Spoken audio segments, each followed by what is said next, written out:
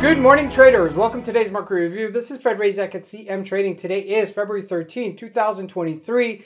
And today is Monday morning. So, looking at the highlights of the day, the question is Is Meta trying to fill the gap?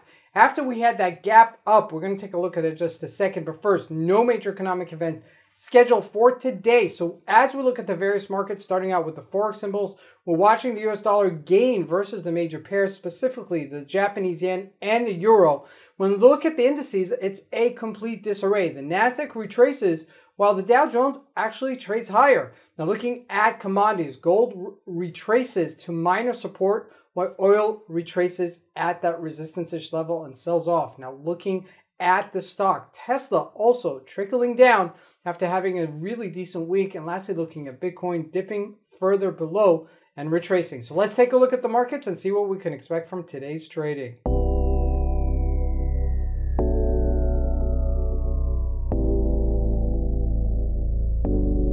So here we go. We're looking at the Euro USD. You can see that it trickled down to 106. 70-ish level, and that is a decent trickle from its 110.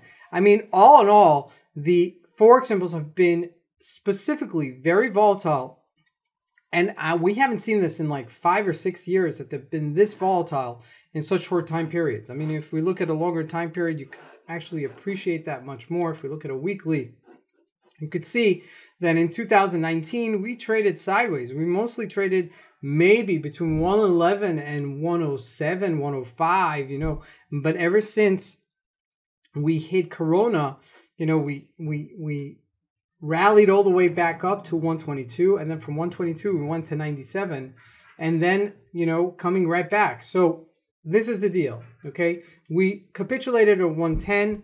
That was the top. Now we should be going back to about 50% retracement. Now that might not happen today, okay, obviously, but that may still happen, or this is going to be a bull flag. So keep that in mind as the euro is trading versus US dollar. If we Japanese, Japanese yen, you can see also we're at 132. We retraced all the way down to 127.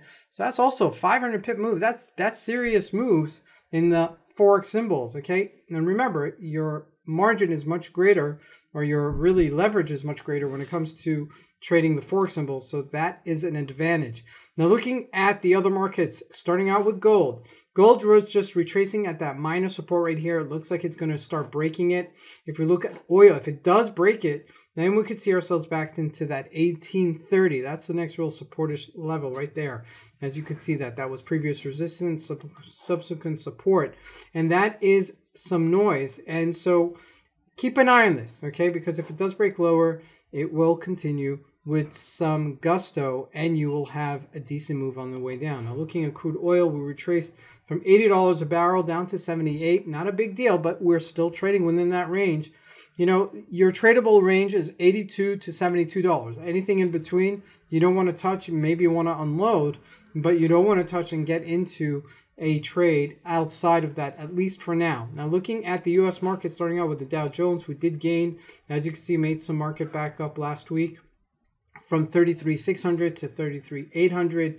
Well, it's a little bit of a sell-off this morning, but nothing big. Looking at the NASDAQ, though, did sell off and did close. It's making its way back now, so it's making back some of that real estate. Today is going to be a very important day for those stocks because it'll really give us a gauge whether or not we're making them back or not. Now let's look at the stocks. Okay, so we spoke about specifically Facebook. Okay, so this is something to really consider. Okay, we had this gap up. Let's take a look at that quite specifically. This is Facebook.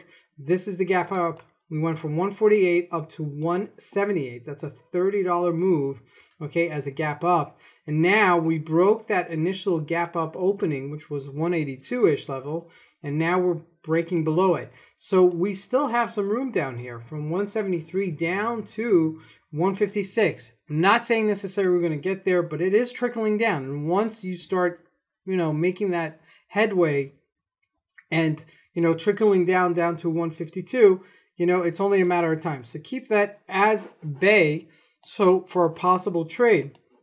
Now the other stock looking at is Tesla, where it did retrace after hitting that above $200 and then selling below at 196. So this is really an important level for it, okay? Because if it does show us that it was a true bull run, it should sustain itself and continue going higher. So this is something to consider as we go into today's session as well. And lastly, speaking of Bitcoin, just trickling down, holding that 21,500. But if it does break, then I do expect it, you know, to break further. Okay, that's usually what happens. Okay, so it's all about velocity, volume, and intensity. That's all the trading the markets are, and that's what we're seeing right here. This is Fred Razak. I want to wish you guys a great trading day. Thank you.